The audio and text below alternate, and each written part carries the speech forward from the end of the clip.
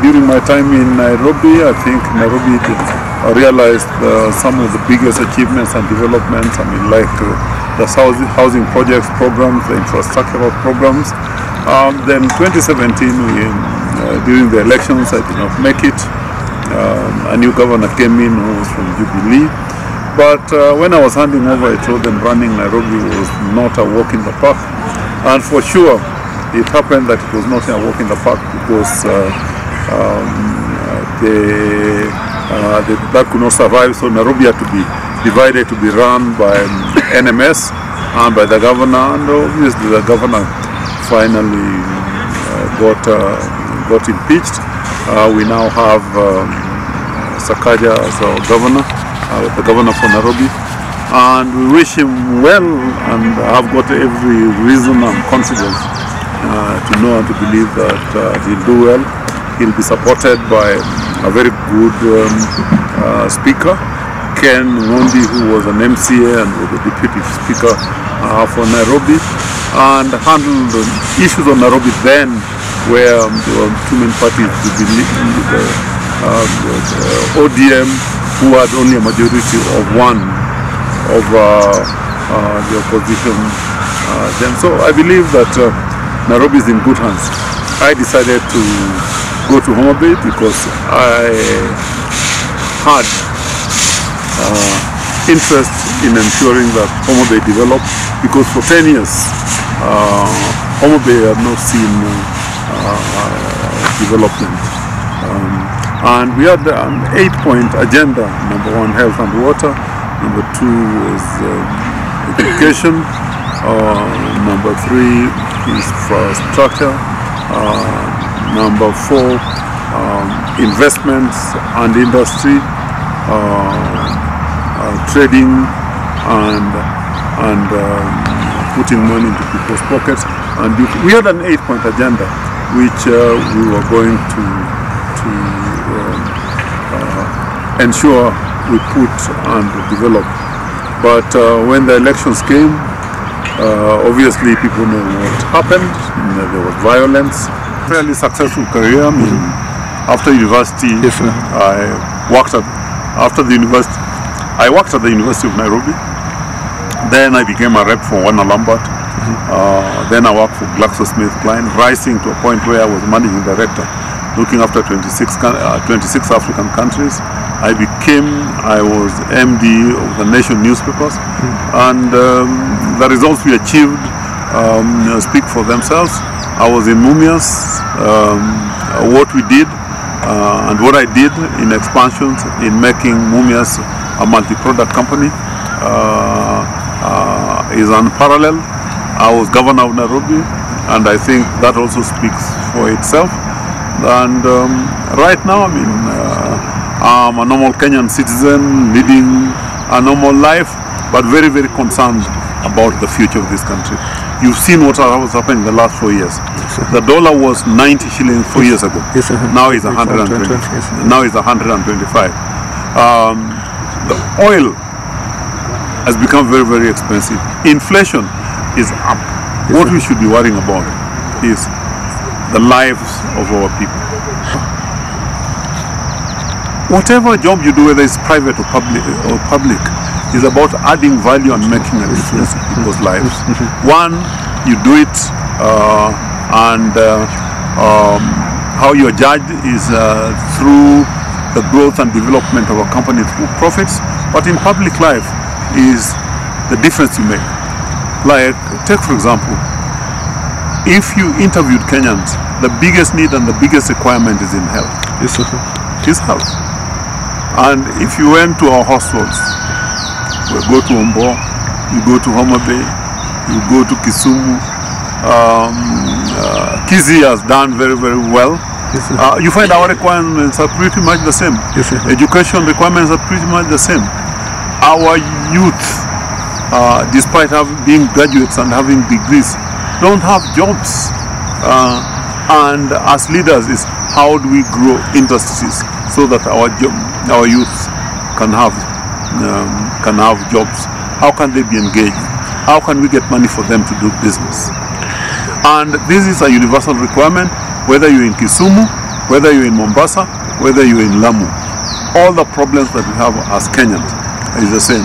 And I'm very happy that um, uh, the president has got his thumb on the pulse of this nation. And that's why he's landed running. Starting the uh, the, the housing uh, housing schemes. Yes. We reduce congestions in, uh, in classrooms and integrating um, uh, Nairobi's community. So it was infrastructure, it was health, it was education. Yes. Just a part of the eight-point agenda which I was taking to on the, uh, Let's support the government. Let's support President Ruto. Are you ready to play any national role if appointed by the president, President Ruto? Uh, so long as it's going to add value and bring a make a difference to the people of Kenya. Yes, sir. and I say that. I mean, I will work with the government of the day. Yes. sir. Yeah. Okay, maybe the last one. What you do when when when you have free time? Of course, you are having a very busy public life now. You are not holding any public office. So what do you do when you have free time? I talk to Kenyans. I advise. I uh, do uh, what adds value and uh, value and brings a difference, makes a difference. were uh, uh, supporting Raila Amolo Odinga. Unfortunately, he did not, he did not win.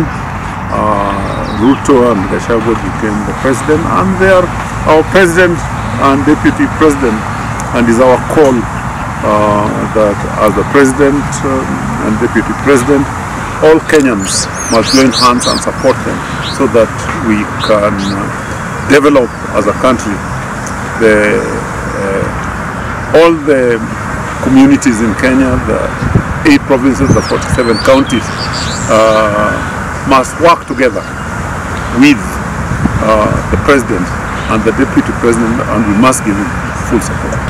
And I'm not aware. I mean, I'm not aware where the, the governor was, but I think it was uh, it was uh, rather sad that the governor was not there to meet the president. Uh, president Ruto is our president, uh, and uh, uh, every uh, leader must pull together with him so that he's able to deliver on his mandate as the president.